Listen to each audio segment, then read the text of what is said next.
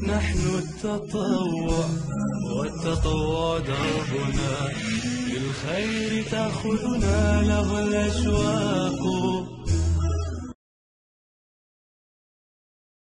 السلام عليكم ورحمة الله وبركاته. أهلا وسهلا بكم في الدورة التدريبية أحلى جوازة في الدنيا أو الزواج في الإسلام. أتمنى يكون كل الناس سامعين الصوت كويس. تمام. نبدأ بسم الله الرحمن الرحيم.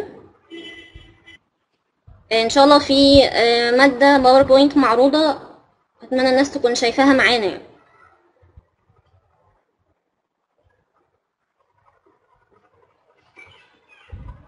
كويس جدا.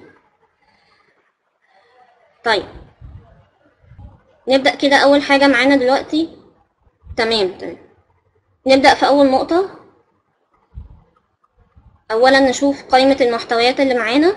هناخد إيه على مدار الكورس. الكورس إن شاء الله ثلاث محاضرات. النهاردة أول محاضرة. فتعالوا نشوف مع بعض. إحنا هناخد إيه خلال الكورس خلال الثلاث محاضرات. وبعدين نعرف هناخد إيه النهاردة بالظبط. آه، قائمة المحتويات اللي معانا أو محتويات الكورس اللي معانا. عندنا معنى الزواج في الإسلام. يعني إيه كلمة زواج؟ أو يعني إيه مشروع الزواج في الإسلام؟ ليه ربنا سبحانه وتعالى شرع لنا الزواج أصلا؟ قيمة الأسرة في الإسلام. ربنا سبحانه وتعالى شايف الأسرة إزاي وقيمتها إيه. دوافع الزواج يعني إيه الحاجة اللي بتدفعنا أو بنفكر فيها علشان نتجه للزواج. حكم الزواج ده جزء فقه كده بسيط جدا وهيبقى سهل قوي. بعض الأفكار المغلوطة عن الزواج المنتشرة في المجتمع وإيه التصويب بتاعها في الإسلام.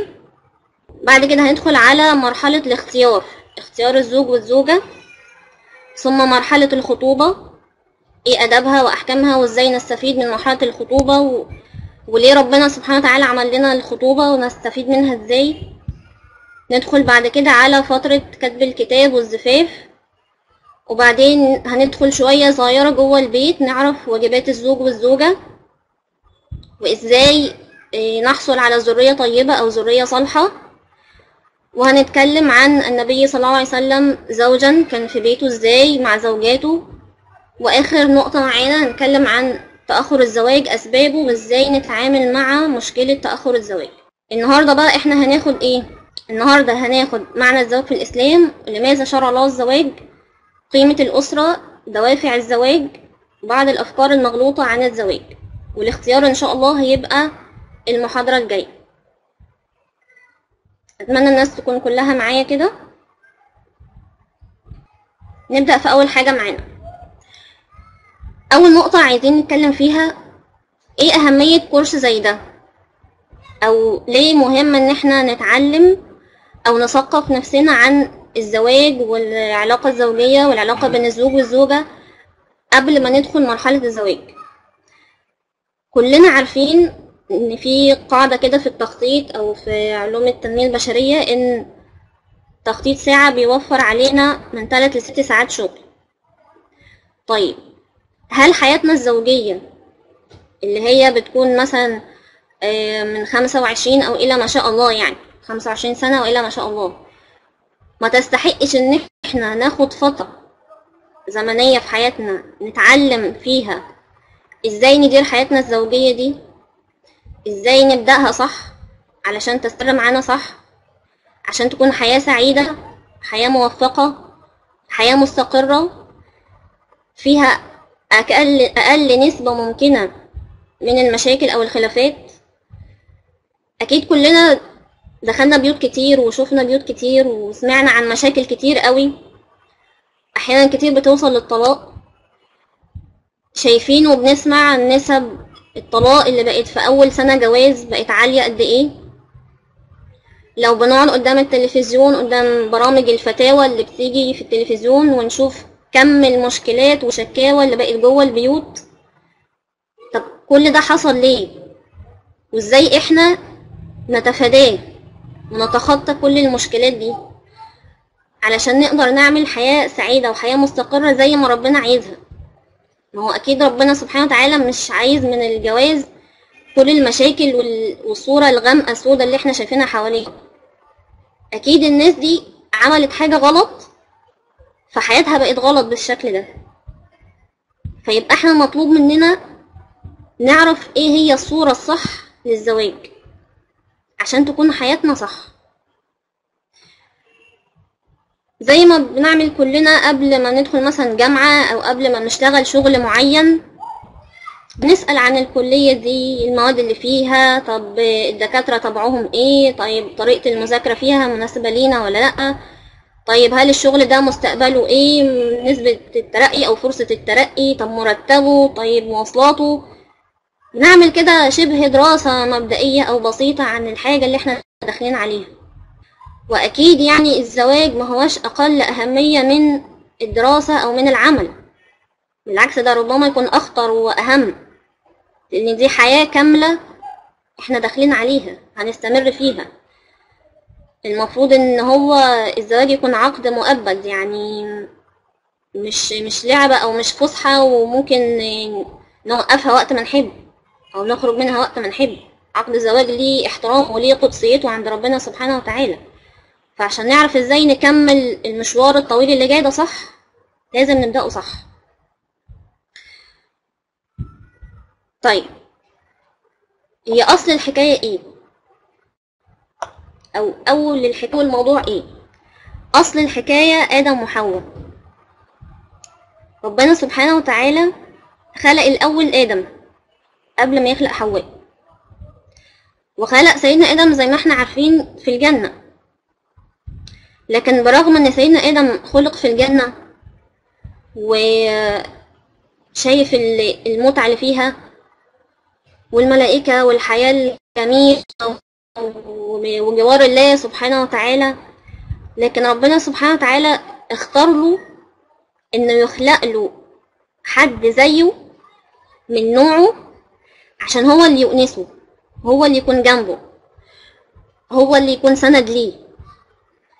فربنا سبحانه وتعالى أراد إنه يخلق له حواء.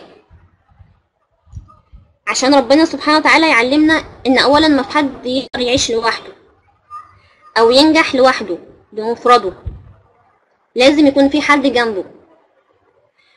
وأحسن حد يكون جنبك وأنت بتنجح وأنت بتطلع هو زوجتك أو زوجك. عشان كده ربنا سبحانه وتعالى بدأ الكون وقصة الحياة على الأرض بآدم وحواء. وربنا سبحانه وتعالى خلق حواء من جزء من آدم عشان يعلم البشرية كلها إن حواء حتة منك جزء منك أنت. وأنت المسؤول الأول عن نجاح العلاقة وعن نجاح البيت. بما إن آدم هو اللي جه الأول اللي اتعلم الأسماء كلها يبقى المطالب منه إن هو اللي هيعلم حواء وهو اللي هياخد بإيدها وهو اللي هيحتويها. صحيح حواء ليها مهمة وليها وظيفة تقوم بيها وليها دور مهم جدا مفيش غنى عنه. لكن الأول في العلاقة والأول في الحياة الزوجية هو آدم. عشان كده لما نتصف قصة سيدنا آدم مع إبليس قبل ما يحصل النزول على الأرض هنلاقي إن كل سرد القصة يا إما ربنا سبحانه وتعالى بيذكر آدم لوحده أو بيتكلم بصيغة المثنى هما الاتنين مع بعض. إحنا معرفناش اسم السيدة حواء إلا من الس... من السنة من أحاديث النبي عليه الصلاة والسلام.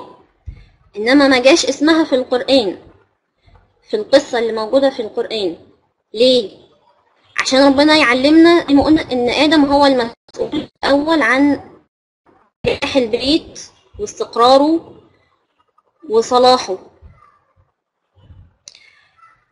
كمان أصل الحكاية آدم وحواء عشان ربنا يعلمنا إن مهمة البشرية اللي على الأرض اللي كلنا عارفينها اني جاعل في الأرض خليفة مش هتحصل إلا من خلال مستقرة مؤمنة أسر صالحة. هي اللي يخرج منها الإنتاج اللي ربنا سبحانه وتعالى عايز أو أراد إنه يشوفه في الأرض. مهمة إعمار الأرض والاستخلاف وكل الكلام اللي إحنا عارفينه ده أساسه لازم يكون من أسرة. ربنا بيعلمنا ما ينفعش حد هيشتغل لوحده.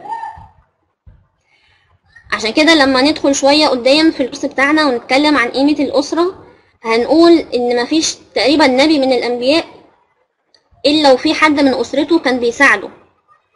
أيا كانت بقى إيه العلاقة الأسرية؟ دي الأخ الابن الأب الزوجة العم. بس لازم في حد من أسرته جنبه بيساعده في مهمته. ولما نشوف سيرة النبي عليه الصلاة والسلام ونشوف دور السيدة خديجة معاه مع إن كان ربنا سبحانه وتعالى ممكن يختار له في أول الدعوة أي حد تاني. زي ما اختار له عمه مثلا أبو طالب أو اختار له صديقه ابو بكر. كان ممكن ما تجيش الزوجة خالص. بس ربنا أراد إنه يختار له زوجة تكون معاه في أول طريق. عشان إحنا كمان نتعلم إن النجاح في الدنيا في أي حاجة أصله لازم يطلع من جوه البيت من الأسرة. تمام. طيب تعالوا نشوف بقى طبيعة ومعنى الزواج في الإسلام. يعني إيه؟ يعني ربنا سبحانه وتعالى علمنا إيه هو الزواج وإيه طبيعة العلاقة دي. هل هو الزواج مجرد علاقة لل... للمتعة أو لإشباع حاجة عند الإنسان وبس؟ ولا هل الزواج ليه معنى أكبر من كده؟ ربما يكون كتير من الناس مش فاهمينه أو مش عارفينه أو مش مقدرينه. تعالوا نشوف ربنا سبحانه وتعالى اتكلم عن الزواج والعلاقة بين الرجل والمرأة في القرآن الكريم. نشوف الآيات اللي معانا ومن آياته أن خلق لكم من أنفسكم أزواجا وجعل بينكم مودة ورحمة. ربنا سبحانه وتعالى في أول آية معانا بيقول إن من آيات ربنا حوالينا في الكون إنه خلانا زوج وزوجة. خلانا رجل وامرأة يحصل بينهم زواج. دي آية ربنا سبحانه وتعالى بيلفت نظرنا إليها. وجعل بينكم مودة ورحمة. يبقى أول أساس وأول معنى من معاني الزواج في الإسلام المودة والرحمة هي علاقة أساسها المودة والرحمة. وربنا سبحانه وتعالى ما قالش محبة قال مودة. لأن المودة أو التودد هو شيء أكبر وأشمل من شعور الحب. عشان كده ربنا سبحانه وتعالى من أسمائه الودود وليس المحب. آه دي كتير في القرآن إن الله يحب التوابين يحب المحسنين يحب المتطهرين أصناف كتير ربنا سبحانه وتعالى قال يحب. لكن لما أراد إنه يسمي نفسه سمى نفسه الودود. لأن المحبة هو شعور في القلب. ممكن يظهر ممكن ما يظهرش. ممكن يكون إنسان بيدعي حب إنسان آخر. لكن إنه يعجز عن التعبير عنه إنما المودة هي فعل كل شيء سواء بالكلام أو بالفعل الملموس المرئي يعبر عن الشعور اللي جوه القلب. يعني بتشوف إيه اللي يرضي الطرف التاني كل حاجة ترضيه كل حاجة تسعده وتعملها سواء أنت الزوج أو زوجة. عشان كده أساس العلاقة الزوجية هي المودة والرحمة. ربنا سبحانه وتعالى يقول كمان هو الذي خلقكم من نفس واحدة وجعل منها زوجها ليسكن إليها. أول الأمر إن الاتنين من نفس واحدة. زي ما قلنا إن حواء جزء من آدم. دي حتة منك دي مش مخلوق آخر. دي جزء منك بيتحرك على رجليه وجعل منها زوجها ليسكن إليها. فالأساس التاني أو المعنى التاني من معاني الزواج في الإسلام هو السكن. الزواج سكن. الزوج سكن لزوجته والزوجة سكن لزوجها. عارفين معنى كلمة سكن؟ أو مسكن اللي بتتقال على البيت؟ لما بتدخل بيتك بعد يوم طويل متعب أو مشوار طويل أو رحلة كانت مرهقة بتدخل البيت بنحس بإيه؟ تحس باطمئنان بدفى بأمان براحة نفسية. هو ده الزواج في الإسلام. ربنا عايز الجواز كده. لما الزوج والزوجة يلتقوا مع بعض في بيت واحد طول ما هما مع بعض حاسين مع بعض بالأمان بالاطمئنان بالراحة النفسية بالاستقرار بالدفء والاحتواء. ربنا سبحانه وتعالى يقول في سورة البقرة هن لباس لكم وأنتم لباس لهن. هن لباس لكم وأنتم لباس لهن. اللباس يعني الملبس يعني اللبس بتاعنا اللبس اللي إحنا بنلبسه ده. الواحد لما بيلبس هدومه ويستتر بيستشعر بإيه؟ نفس المعاني تقريبا اللي قلناها في السكن. إحساس بالاطمئنان.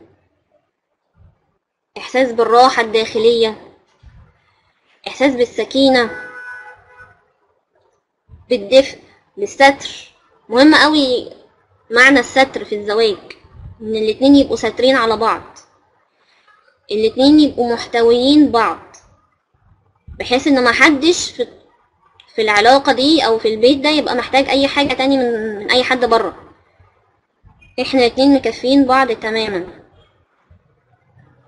دي من معاني الزواج في الإسلام أو ال- الأسس اللي ربنا سبحانه وتعالى حطها لنا عشان نأسس عليها حياتنا الزوجية. المودة والرحمة السكن وأنتم هن لباس لكم وأنتم لباس لهن بالمعاني اللي إحنا ذكرناها. طيب. نقط كمان مهمة عن طبيعة الحياة الزوجية أو العلاقة الزوجية. الزواج تضحية. يعني إيه الزواج تضحية؟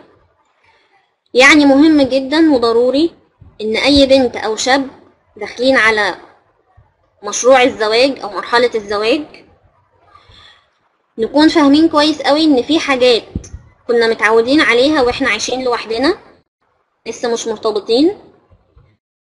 هنبقى محتاجين نتنازل عنها ونسيبها لأن في حاجات تانية أولى وأهم. مواعيد بقى صحيانا من النوم آه، ارتباطاتنا.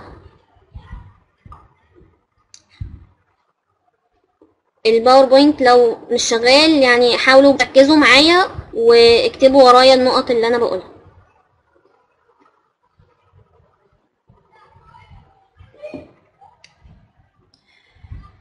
كنا بنقول الزواج تضحية يعني حياتنا قبل الجواز لازم نكون مدركين إن هي هتتغير بعد الجواز لأن بقى فيه مسؤوليات وبقى فيه أولويات تانية.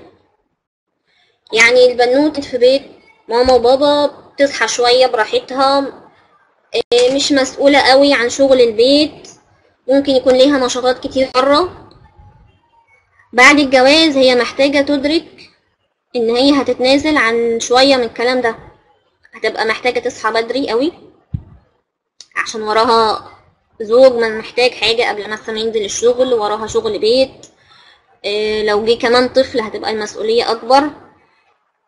الزوج كمان لو هو شاب متعود يسهر مع أصحابه كتير شوية إيه، يخرج برا البيت بزيادة يقعد برا مثلا يخرج يتفسح يطلع في رحلات. هو بعد الزواج عنده مسؤولية عنده إنسان مسؤولة منه وليها حقوق. فهنبقى محتاجين نتنازل شوية عن الراحة والرفاهيات اللي كنا عايشين فيها قبل الجواز. الزواج مسؤولية. يبقى إحنا قلنا الزواج تضحية والزواج مسؤولية. والاتنين مرتبطين ببعض لأن التضحية مبنية على المسؤولية. طالما وجدت مسؤولية ووجدت أولويات يبقى لازم أضحي بشوية راحة كنت متعود عليها علشان المسؤولية اللي أنا دخلت فيها. زوجة مسؤول مسؤولة عن زوج.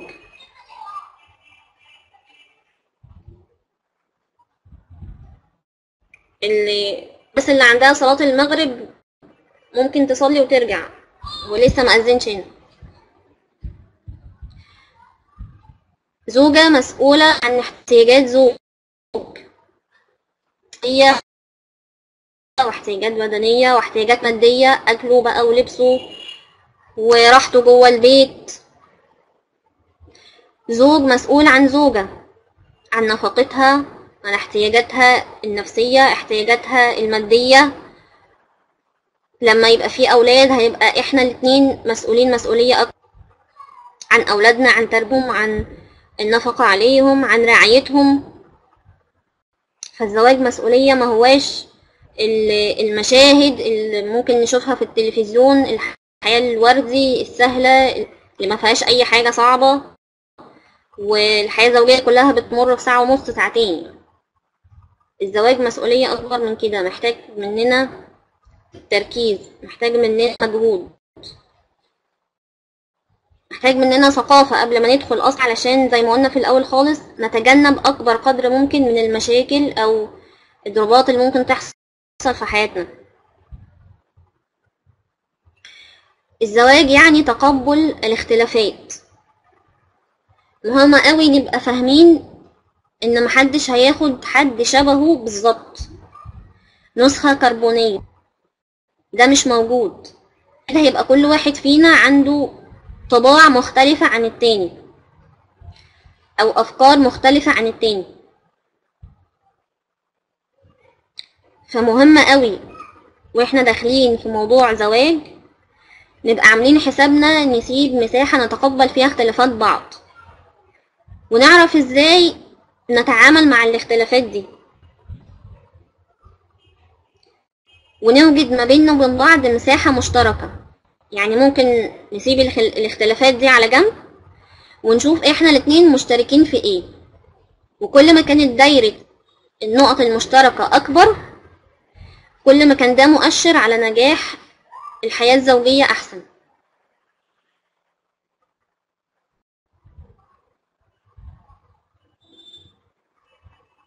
تمام. المتزوج معان من الله بنص الحديث النبوي. في حديث عن النبي عليه الصلاة والسلام قال لنا فيه إن الساعي للعفاف أو اللي بيسعى للزواج ده يكون على يقين إن هو معان من الله سبحانه وتعالى. يعني طالما بدأت أفكر في إني أتزوج وأعف نفسي وبدأت أسعى وأبذل مجهود فأنا أكون على يقين وعلى تأكد إن ربنا سبحانه وتعالى معايا يعني في كل خطوة باخدها. دي نقط مهمة كان محتاجين نقولها عن الزواج والعلاقة الزوجية. كمان الزواج في الإسلام عبادة. إزاي يعني الزواج في الإسلام عبادة؟ يعني ممكن يكون عبادة زيه زي الصلاة زي الصيام زي الصدقة. آه الزواج عبادة.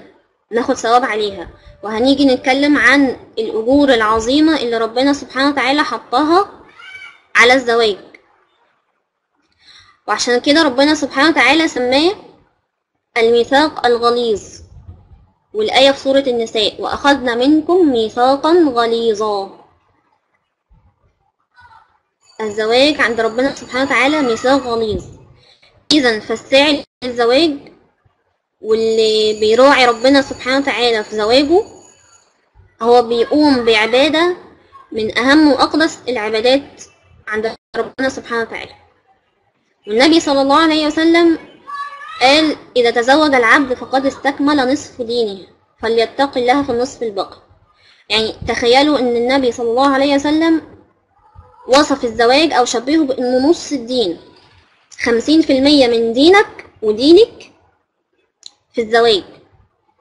طب وكل اللي إحنا بنعمله بنجتهد فيه ده الخمسين في المية التانية.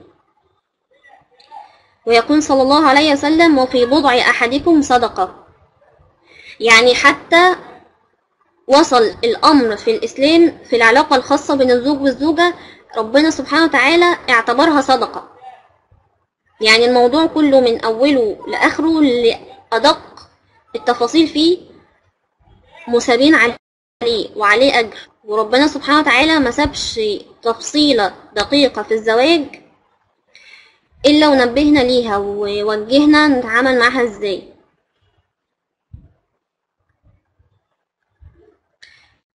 لماذا شرع الله الزواج؟ سبحانه وتعالى شرع لنا موضوع الزواج ده. العلاقة اللي بين الرجل والمرأة اللي اسمها زواج. أول حاجة بديهية المحافظة على النوع الإنساني البشرية ما كانش ينفع أبدا أو يعقل إن هي تتوقف عن آدم وحواء. وإلا كانت انتهت من زمان ومهمة البشر اللي ربنا سبحانه وتعالى خلقنا عشانها كانت انتهت من زمان. فكان لازم يكون في طريقة سليمة منضبطة يستمر بيها النوع الإنساني عشان يفضل يقوم بهمته اللي ربنا أرادها لينا لحد ما ربنا ما يشاء و... وكان محدد لينا. زي وقت زي الامتحان بالظبط. ناخد ورقة الامتحان وبيبقى في وقت محدد للإجابة. انتهى وقت الإجابة خلاص بتتشال الورقة ونستنى النتيجة بقى. فاحنا لحد دلوقتي لسه في وقت الامتحان. لسه الورق ما اتشالش. طيب لغاية ما الوقت ينتهي محتاجين أجيال تيجي ورا بعض متعاقبة عشان كل جيل يسلم الجيل الآخر المهمة اللي بيقوم بيها. فربنا سبحانه وتعالى أو العلاقة الزوجية اللي من خلالها يحصل تكاثر للنوع البشري أو النوع الإنساني عشان تفضل الأجيال مستمرة جاية ورا بعضها زي ما قال العلماء ذرية يخلف بعضها بعضا. تحقق المهمة أو الغاية اللي البشر اتخلقوا عشانها اللي هي الإصلاح في الأرض وإعمار الأرض ومعرفة الله سبحانه وتعالى وعبادته. يبقى ده السبب الأولاني. السبب الثاني سلامة المجتمع من الانحلال الأخلاقي من خلال إعلاء قيمة الأسرة أو تقدير قيمة الأسرة أو تقديس قيمة الأسرة. لو ربنا سبحانه وتعالى كان الأمر توقف على وجود آدم وحواء وهما كرجل وامرأة ما بينهم ميل أو غريزة والغريزة ما كانتش اتنظمت يعني مش عارفين نعمل إيه. هنحس بحاجة بس مش عارفين نتصرف فيها إزاي. ننظمها إزاي؟ نشبعها إزاي؟ إحنا عارفين لما بنجوع هنروح ناكل. وربنا سبحانه وتعالى حدد لنا شوية أصناف من الأكل قال لنا دي حرام تاكلوا منها والباقي حلال. طيب ده عرفناه. طب لما نحس بالعطش هنشرب.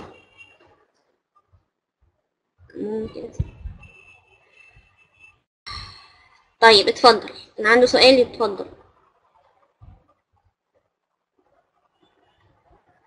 سريعا بس.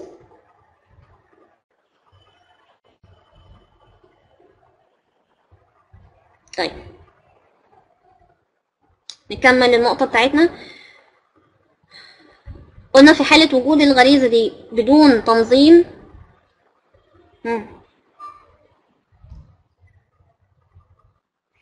المصاحبة أو الصحوبية. طيب نأجل الموضوع ده شوية لأن هيجي الكلام عليه. يعني النقطة دي ليها جزء خاص في الكورس معانا فلما نيجي نتكلم عنه هنتكلم عليها إن شاء الله بالتفصيل.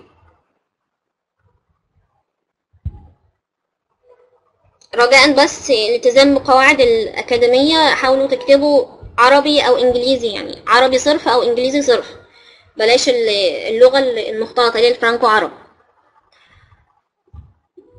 نكمل النقطة اللي كنا بنتكلم فيها. فربنا سبحانه وتعالى شرع لنا الزواج على أساس إن هو الإطار اللي هينظم لنا الغريزة اللي موجودة عند الرجل والمرأة. هو ربنا سبحانه وتعالى خلقنا كده أو فطرنا على كده. لازم هيحصل ميل بين الرجل والمرأة. طيب الميل ده يتنظم إزاي؟ ربنا سبحانه وتعالى أرشدنا ووجهنا يتنظم من خلال الزواج. طيب المجتمعات اللي أشبعت الميل ده أو أشبعت الغريزة دي بره نطاق الزواج أو بره إطار الزواج بقى شكلها إيه؟ بقى حالها أفرادها والمجتمع ككل بقى عامل إزاي؟ أكيد بنشوف أو بنسمع عن المجتمعات في أمريكا وأوروبا قد إيه الإنسان هناك بقى مرهق مرهق نفسيا ومرهق ذهنيا وجسديا قد إيه المجتمعات بقت عايشة حالة من الفساد الأخلاقي. الأسر بقت هشة جدا ومهمشة جدا. كل ده لأن الغريزة أو الفطرة اللي ربنا حطها لنا أشبعناها بطريقة غلط مش بالطريقة اللي ربنا أرادها اللي هي الزواج. فلما نحققها بره الزواج يحصل فساد أخلاقي يحصل انهيار للأسر يحصل تشرد لأجيال زي ما بنشوف اللي بيحصل بره أو ربما في بعض الحالات عندنا في مجتمعاتنا العربية. حالات بقى حالات بقى إجهاض لأنه أبناء غير شرعيين أطفال شوارع أطفال في الأيتام في ملاجئ الأيتام. كل ده ليه يحصل؟ لأن إحنا ما اتبعناش طريق ربنا سبحانه وتعالى في إشباع الحاجة اللي جوانا. ربنا أوجد لنا حاجة وقال لنا نشبعها إزاي. إذا عملنا عكسها لازم نتوقع نتيجة صعبة ونتيجة خطيرة ونتيجة مضرة. لينا كأفراد وكمجتمع ككل. السبب الثالث في تشريع تحقيق الغاية من خلق الإنسان أساسا. استخلاف الأرض وإعمارها ومعرفة الله سبحانه وتعالى وعبادته. كان إزاي ده هيحصل بدون ما يكون فيه ذرية بشرية أو تناسل بشري يقوم بالمهمة دي زي ما ربنا تعالى أرادها. زي ما قلنا في أول نقطة خالص المحافظة على النوع الإنساني دي مترتبة عليها. حافظنا على النوع الإنساني فبقى عندي أجيال متعاقبة تخلف بعضها بعضا كلها تشيل المهمة وتشيل الوظيفة اللي ربنا سبحانه وتعالى خلقنا عشانها.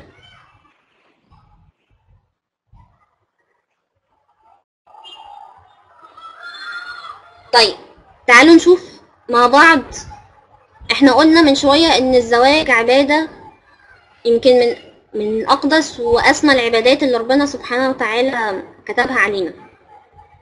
تعالوا نشوف بقى الأجر العظيم والثواب الكبير جدا اللي ربنا سبحانه وتعالى حطه على موضوع الزواج لوحده من القرآن ومن أحاديث النبي عليه الصلاة والسلام. أول حاجة عندنا الأجر في الإنفاق العيال اللي هم الأولاد. يعني وأنا بنفق على أولادي فأنا باخد أجر. النبي عليه الصلاة والسلام يقول دينار أنفقته على عيالك يعني أولادك. ودينار أنفقته على أصحابك. هديت حد أو حد في ظرف معين محتاج فسلفته. ودينار أنفقته في سبيل الله. الصدقة والزكاة أو ساعدت حد فقير حد مسكين. أعظمها أجرا أعظم بقى حاجة في التلاتة دول في الأجر الذي أنفقته على عيالك. قالوا إن الجنيه اللي في بيتنا على ولادنا علشان نكفي ولادنا ده أعظم في الأجر من الفلوس اللي أنا هديها لأصحابي أو حتى هطلعها في سبيل الله مع وجود معادلة أو موازنة هنا.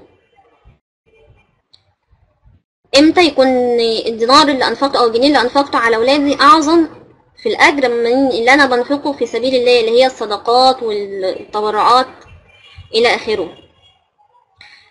ده يحصل لما أكون أنا بصرف على ولادي علشان أضمن لهم حاجة اسمها حد الكفاية.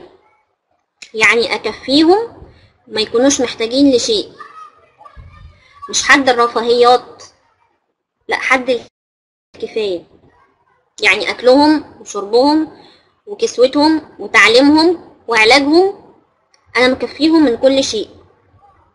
بعد ما أكفي البيت البيت خلاص مش محتاج حاجة في الأساسيات أبدأ بقى أطلع حق ربنا سبحانه وتعالى. أطلع صدقات وأطلع تبرعات وأدي لأصحابي أسلفهم أو أزور حد فأجيب له هدية أو أزور مريض فأجيب له هدية. وأنا سايب بيتي أصلا محتاج حاجة مهمة أو حاجة أساسية. فمهم قوي نبقى كمان عارفين ومفرقين الفرق بين الاحتياجات الأساسية وبين الرفاهيات. الرفاهيات دي بقى هنتحاسب عليها. إحنا جبناها ليه؟ كنا محتاجينها ولا مش؟ ولما جبناها هل طلعنا في المقابل حق ربنا سبحانه وتعالى في فلوسنا ولا لا؟ إنما طول ما إحنا بنطلع في بيوتنا اللي يوصلنا لحد الكفاية يعني نبقى مكتفيين يعني بال يعني بالعربي كده خالص مستورين يعني مش محتاجين الحمد لله حاجة من بره فده يحسب لنا صدقة وصدقة أعظم من الصدقة اللي إحنا هنطلعها بقى أتمنى تكون النقطة دي واضحة. الأجر لتطبيق سنة النبي صلى الله عليه وسلم. النبي عليه الصلاة والسلام قال أن الزواج سنتي ومن رغب عن سنتي فقد رغب عني. لأن الإسلام عندنا ما فيهوش حاجة اسمها رهبانية. ما فيش حاجة في الإسلام اسمها إني هعيش حياتي كده أتعبد وبس من غير زواج. ده مش موجود في الإسلام. لكن إذا حد ارتضاه على نفسه فده شيء يخصه هو حاجة تخصه شخصيا. زي ما ممكن يكون سمعنا عن آه، الصوفيين أو المتصوفين إن هم عاشوا حياة التوفق بدون زواج. زي مثلا السيدة ربيعة العدوية أو الإمام حسن البصري. دول نعرف عنهم من سيرهم إن هم عاشوا وتوفوا بدون زواج. طب ليه؟ لأن دول ناس حالة خاصة جدا في العبادة وفي العلاقة بالله سبحانه وتعالى وصلوا لمرحلة إن هم قدروا يستغنوا عن ال- الحياة الزوجية أو قدروا يستغنوا عن احتياجهم للطرف الآخر أو للجنس الآخر. ودي مش متوقع إن هي تكون حالة متكررة كتير. فإذا الإسلام مفهوش رهبانية. رب النبي صلى الله عليه وسلم قال أن الزواج سنتي ومن رغب عن سنتي فقد رغب عني. لأن ده فيه إعفاف للنفس وفي إن إحنا بنضيف على حياتنا حاجة جميلة وحاجة ممتعة لحياتنا حاجة فيها ترفيه عن النفس.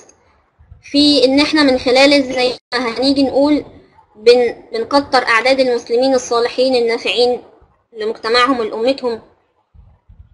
في إن إحنا من خلال الزواج ده زي ما قلنا في الأول بنحافظ على الجنس البشري اللي يقوم بالمهمة اللي ربنا سبحانه وتعالى أرادنا أرادنا ليها أو أرادها بينا. الأجر في تربية الأبناء. إحنا قلنا الأجر في الإنفاق على الولاد. ده الأجر في التربية. كبير بين التربية المصاريف. يعني مش معنى إن أنا بصرف على ولادي في المدرسة والدروس وبوديهم النادي وبجيب لهم الأكل والشرب والعلاج فأنا كده ربيتهم.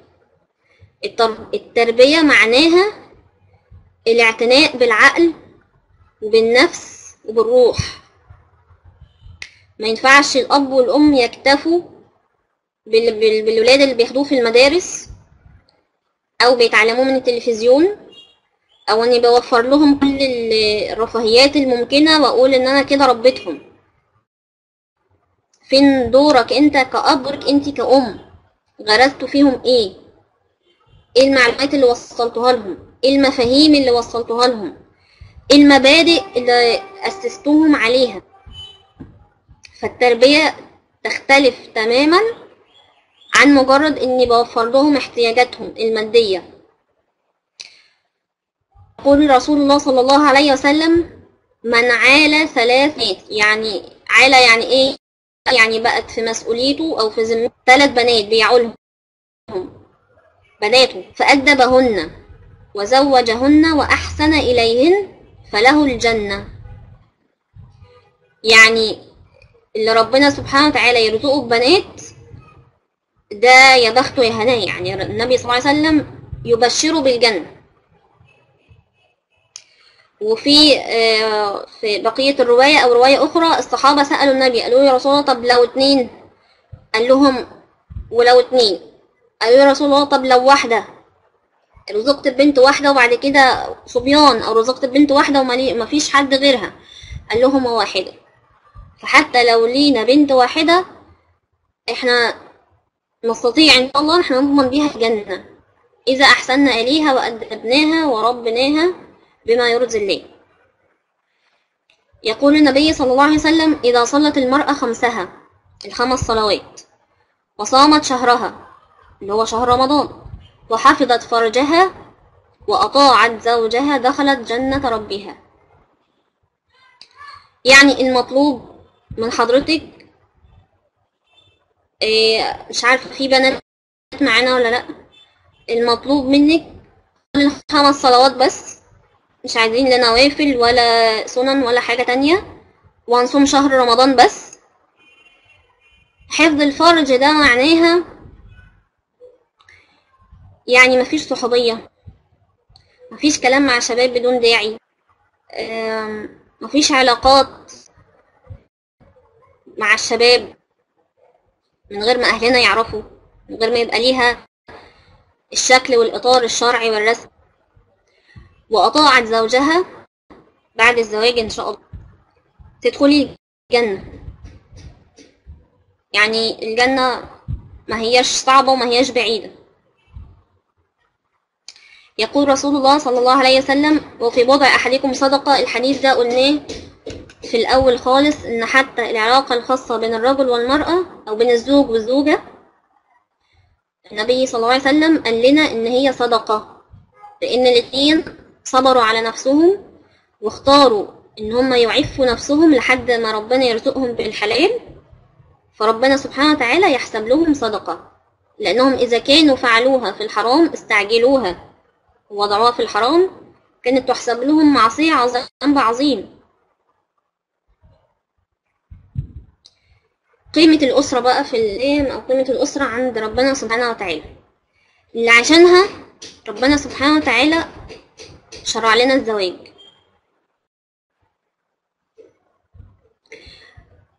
أول حاجة السيرة النبوية لما نتصفحها أو نستعرضها كده قدامنا مليانة بصور ولمحات أسرية وعائلية. نشوف النبي صلى الله عليه وسلم مع زوجاته مع بناته. نشوفه مع أهله الكفار ما كانوش مسلمين كان بيتعامل معهم إزاي. نشوفه مع في صور كتير مع أولاد عمومته مثلا مع إخواته في الرضاعة. في صور كتير ولمحات كتير أسرية وعائلية في حياة النبي صلى الله عليه وسلم. مع إن كان ممكن ربنا سبحانه وتعالى يقدره إن هو يقوم بالدعوة لوحده أو مع الصحابة من غير من غير زوجات ومن غير أبناء. لكن ربنا سبحانه وتعالى اختار للخاتم الرحمة للعالمين إنه يخرج بدعوته من جوه أسرة من جوه بيت. في زوجات وفي عيلة. نشوف كمان إشباع ال- الشهوة أو الغريزة اللي ربنا خلقنا عليها. لو حصلت بره إطار الزواج أو بره نظام الزواج فده بيبقى عليها اسم عظيم جدا. وبتحسب ذنب عظيم جدا اللي هي أو جريمة الزنا أو ذنب الزنا. فلما ربنا سبحانه وتعالى دايما كده لما ربنا سبحانه وتعالى يحط عقوبة شديدة على فعل نعرف إن عكس الفعل ده شيء مقدس. زي بالظبط تحريم الخمر تحريم شرب الخمر. في الإسلام إن المفروض يعني إن شارب الخمر ليه عقوبة شديدة. ممكن تصل للجلد. طب ده ليه؟ لأن الخمر بيؤثر على العقل بيذهب العقل بيخدر العقل. فربنا سبحانه وتعالى وضع عقوبة شديدة على الشيء اللي بيضر بالعقل ده. فإذا نفهم إن العقل ده شيء مقدس ورفيع جدا عند ربنا سبحانه وتعالى. نفس الوضع هنا. لما ربنا سبحانه وتعالى وضع عقوبة شديدة شديدة جدا على جريمة الزنا اللي هي قضاء الشهوة الجنسية خارج إطار الزواج نفهم من ده إن إطار الزواج نفسه شيء مقدس وغالي جدا عند الله سبحانه وتعالى. فاللي بيضر اللي بيضر بيه أو يهدم فيه سبحانه وتعالى يغضب عليه. لما نشوف فريضة الحج كل ركن فيها تقريبا مرتبط بحياة اللي هي أسرة سيدنا إبراهيم والسيدة هاجر وابنهما سيدنا إسماعيل. عندنا السعي عندنا رجم الشيطان. عندنا في في العيد الكبير ال- الأضحية. عندنا بئر زمزم. كل دي ملاح جوه عبادة وركن من أركان الإسلام مرتبط بحياة أسرة. عشان ربنا سبحانه وتعالى برضو علمنا إن قد إيه ممكن الأسرة أو بيت يأثر على أجيال كتيرة جاية بعديه. زي ما أسرة سيدنا إبراهيم أثرت على كل المسلمين إلى يوم الدين. تكوين أسرة في الزمن اللي إحنا فيه ده هي تعتبر حاجة النبي صلى الله عليه وسلم سماها عبادة في الهرج. هرم هرجين يعني إيه عبادة في الهرج؟ هرج يعني انتشار فتن وانتشار فساد وانهيار أخلاق. في زمن ما يبقاش فيه مبادئ ما يبقاش فيه قيم. الدين فيه بقى شيء ممش. فلما يتوجد زمن زي ده يجي بعض الناس يتمسكوا بعبادة معينة معينة فالنبي عليه الصلاة والسلام قال لهم اللي يعمل كده فكأنه هاجر إلي. اللي يلتزم بسنة النبي وبدين ربنا. في وقت كل الناس نسيت الدين فيه ونسيت السنة فيه النبي يقول لنا اللي بيعمل كده كأنه هاجر إلي إنه هاجر إلى النبي صلى الله عليه وسلم. ده حديث نبوي. فتكوين أسرة في الزمن اللي إحنا فيه ده اللي بقت سهلة فيه قوي المعصية اللي عايز يفتح النت يفتحه واللي عايز يتفرج على قنوات فضائية يتفرج واللي ممكن يجيب مجلات. واللي ممكن يعمل تشات على النت ولاد مع بنات أو صحوبيات بره في الشغل ولا في الجامعة ولا غيره. المعصية بقت سهلة قوي النهاردة. فاللي يسيب المعصية على سهولتها في وقتنا ده ويجتهد إنه يعمل الحلال يعني بيت وأسرة وحياة زوجية ده إن شاء الله يعني يحتسب أجره كده كأنه هاجر إلى النبي صلى الله عليه وسلم في المدينة. تخيلوا الأجر والثواب عظيم قد إيه؟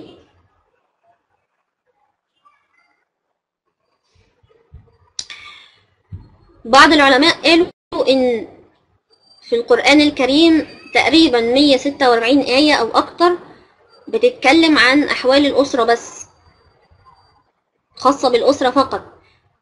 الزواج والرضاعة والتربية وبر الوالدين وصلة الرحم والطلاق والنفقة كل أحوال الزواج ربنا سبحانه وتعالى خصص لها 146 آية أو أكتر في القرآن الكريم. ولما ربنا سبحانه وتعالى يكرر ذكره لشيء واحد في القرآن فدي معناها إشارة لأهمية خطورة الشيء ده. زي ما اتكرر كتير قوي في القرآن الكريم قصة سيدنا موسى وبني إسرائيل. يبقى إحنا لازم نفهم ان ربنا سبحانه وتعالى عايزنا نتعلم منها كويس قوي. بيلفت نظرنا ليها بدقة وبحرص. فلما ربنا سبحانه وتعالى يكثف الذكر عن الأسرة في القرآن يبقى أكيد كيان الأسرة وقيمة الزواج شيء مهم ومقدس وغالي جدا عند ربنا. عشان كده ربنا علمه القرآن كمان الأسرة واحدة من أخطر وأهم العوامل اللي بتأثر على عقل الإنسان وتكوينه. يعني أهم وأخطر الحاجات اللي بتأثر على تكوين الإنسان عقليا ونفسيا الأسرة والمدرسة والإعلام والمسجد. فلو الأسرة وقعت هيبقى عقل الإنسان طبعا طفل صغير هيبقى زي الورقة البيضة مفهوش أي حاجة. يستقبل فيها بقى أي حاجة من بره سواء غلط أو صح. من المدرسة من التلفزيون من الشارع من خطيب في المسجد بيتكلم غلط بيفتي غلط في الدين. أي حاجة بقى هيسمعها بره غلط أو صح هيستقبلها لأن أصلا ما عندوش البطانة السليمة والأساس القوي اللي طالع بيه من البيت. هو طالع من البيئه هشة. عقلية ما فيهاش أي حاجة. فيبقى سهل قوي التأثير عليه من بره. عشان كده الأسرة هي الأساس. البيت هو الأصل. لو الطفل اتأسس صح جوه بيته قبل سن المدرسة فالأب والأم يكونوا مطمئنين إنه أي شيء هيستقبله من بره هو عنده الفلتر الخاص بيه. يعرف إيه الصح وإيه الغلط يستقبل الصح ويسيب الغلط. انما النماذج اللي السيئة جدا اللي بقينا نشوفها في أطفال الإبتدائي وطلبة إعدادي وثانوي ده لأن البيوت ما بتقومش بدورها. طيب نقطة شغل شغل الزوجة أو عمل الزوجة خليها برضو تتأجل إن جاي الكلام عنها. يعني مش مكانها هنا دلوقتي كلام عليها. الاختيار يا جماعة إحنا قلنا الاختيار إن شاء الله المحاضرة الجاية هنتكلم بالتفصيل عن الاختيار المحاضرة الجاية. ونقطة طاعة الزوجة لزوجها. المحاضرة اللي- الجاية إن شاء الله الجاية أو اللي بعدها في مسؤوليات الزوج والزوجة. ما تقلقوش يعني كل النقط دي إن شاء الله متغطية جوه الكورس. فيا ريت اللي عنده سؤال آه، جوه النقط اللي إحنا بنتكلم فيها دلوقتي. ال presentation اللي عايزه ممكن تبعتوا لنا الإيميلات بتاعتكم وتبقوا تاخدوا ال presentation PowerPoint نبعتها لكم على الإيميل. أعتقد دي ممكن ممكن تتنظم مع مع الدعم الفني يعني. يعني يستقبلوا الإيميلات بتاعتكم لكم عليها البرزنتيشن الخاص بكل محاضرة. من قيمة الأسرة عند ربنا سبحانه وتعالى إن ربنا سبحانه وتعالى اشتق اسم الرحم الرحمن من اسم الرحمن سبحانه وتعالى. آه كلنا تقريبا نعرف الحديث القدسي اللي ربنا سبحانه وتعالى وصف لنا فيه. طيب آه أستاذة كاميليا لو ممكن جروب ويبقى في في المتاح يعني إن هم ياخدوها ما عنديش مشكلة. يعني أي وسيلة ما عنديش مشكلة فيها المهم ال- المادة تبقى مع الناس. كلنا نعرف الحديث القدسي اللي ربنا سبحانه وتعالى وصف لنا فيه مشهد خلق الرحم. لما الرحم علقت بعرش الرحمن تستعيذ فيه من القطيعة أو تستعيذ بربنا سبحانه وتعالى من القطيعة. الرحم آه، خافت إن البشر يقطعوها. وده اللي بقى يحصل فعلا. قطيعة الرحم وتفكك الأسر والعائلات وعقوق ال- الأبناء للآباء. فربنا سبحانه وتعالى أولا اختار إنه اسمها من اسم الرحمن ثانيا ربط رضاه سبحانه وتعالى بصلة الرحم. كما ذكر الله سبحانه وتعالى في الحديث القدسي من وصلك من وصلك وصلته ومن قطعك قطعته. فقد كده الأسرة والعلاقات الأسرية شبكة العيلة اللي جوه البيت غالية قوي قوي عند ربنا سبحانه وتعالى لدرجة إن اللي يوصل شبكة الاتصالات دي جوه العيلة فهو على اتصال بالله سبحانه وتعالى واللي يقطعها هو يقطع الله سبحانه وتعالى. أتمنى الناس تكون مركزة معانا. جميع الأنبياء والرسل زي ما ذكرنا في الأول خالص ربنا سبحانه وتعالى اختار لهم حد من العيلة يكون جنبهم في مهمتهم وفي رسالتهم الدعوية. زي عندنا سيدنا إبراهيم ربنا اختار له ابنه سيدنا إسماعيل. عندنا سيدنا موسى معاه أخوه سيدنا هارون. عندنا سيدنا عيسى.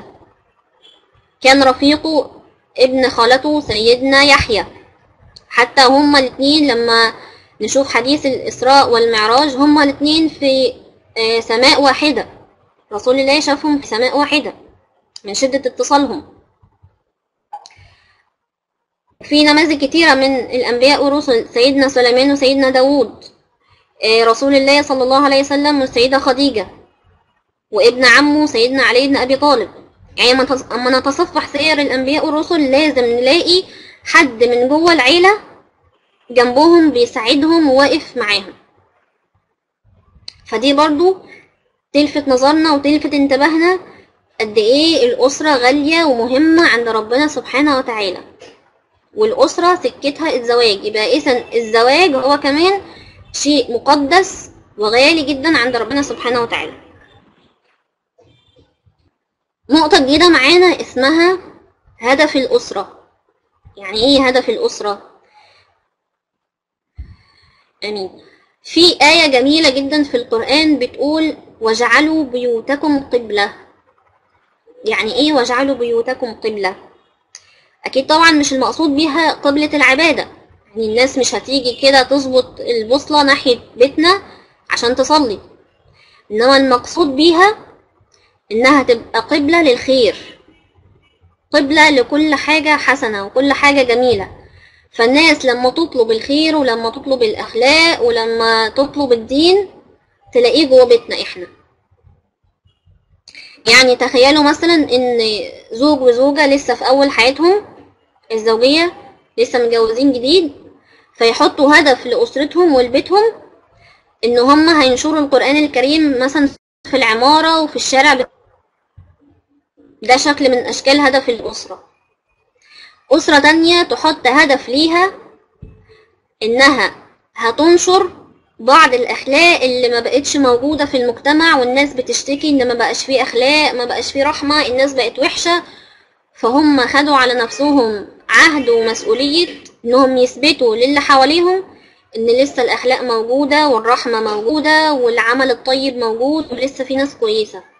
لأن إحنا لما بنعامل الناس بالأخلاق اللي ربنا سبحانه وتعالى يحبها واللي النبي صلى الله عليه وسلم يحبها وأمرنا بيها فإحنا بكده بندل الناس على ربنا وبنحبب الناس في ربنا وبنحبب الناس في النبي. أكيد كلنا شفنا أو سمعنا لما بعض الناس الدنيا بتضيق عليهم قوي وظروفهم تبقى وحشة يبدأوا يشكوا في عدل ربنا سبحانه وتعالى ويشكوا في رحمته ويشكوا إن ربنا سبحانه وتعالى آه، عادل وبيقسم الأرزاق على الناس بالعدل إلى آخره. فلما إحنا نجتهد خير فإحنا كده بنطمن الناس ان إن عدل ربنا موجود وإن اخلاق الأخلاق الربانية الجميلة اللي ربنا أمرنا بيها لسه موجودة ونقدر نعملها تاني ونقدر ننشرها بينا وبين بعض.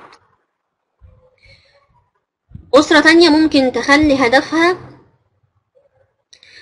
إنها يخرج من بيتها عالم مثلا. عالم بقى في في العلوم الشرعية أو في العلوم الح... الحيوية الأخرى.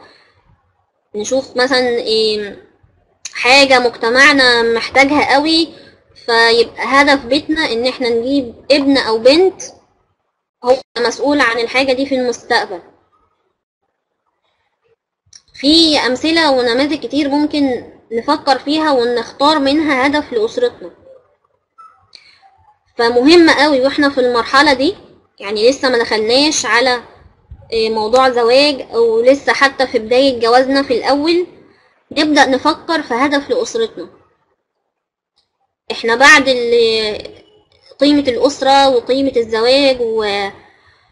وقد إيه الزواج والأسرة غاليين عند ربنا سبحانه وتعالى. فما ينفعش حياتنا الزوجية تبقى كلها أكل وشرب ونوم وخلفة وبس. لا لازم بقى كل الكلام اللي قلناه في الأول ده يتحط في الفعل ينعكس علينا في الفعل. فيبقى نحدد هدف لأسرتنا أو زي مشروع أسرتنا وبيتنا دي هنطلع منها مشروع هنطلع منها منتج. إيه بقى هو المنتج ده؟ ده نتفق عليه مع بعض. الخاطب وخطيبته سوا. الزوج والزوجة لما يكونوا لسه في أول جوازهم خالص. كل واحد لوحده دلوقتي انتي لوحدك وأنت لسه لوحدك لسه مفيش مشروع ارتباط. نقعد نفكر مع نفسنا. أنا بحلم ببيت أطلع منه إيه؟ المنتج اللي أنا عايز اطلعه من بيتي؟ المنتج اللي أنا عايز اطلع بيه من ولادي. اتمنى النقطة دي تكون واضحة. لو في استفهام في النقطة دي بالتحديد آه، أنا مستعدة لو في اسئلة في النقطة دي بس. لو واضحة بس اطمئن ان هي واضحة. النقطة اللي معانا دلوقتي دوافع الزواج. يعني ليه الناس عموما بتتجوز؟ في مجموعة دوافع بتحرك الناس ناحية الجواز. مش كل الناس زي بعضها في طلب الزواج. يعني ده سبب الاستقرار. إنما في أسباب تانية بتحرك الناس ناحية الزواج. كل واحد على حسب طبيعته وأفكاره واحتياجاته الخاصة بيه. أول حاجة الدافع الديني. في حد عايز يتجوز علشان زي ما قلنا في الأول خالص يطبق سنة النبي عليه الصلاة والسلام. هو عارف إن الزواج من الإسلام أو شيء أساسي في الإسلام وعليه أجر وثواب عظيم وإن هو آه، سبيل لعفة النفس.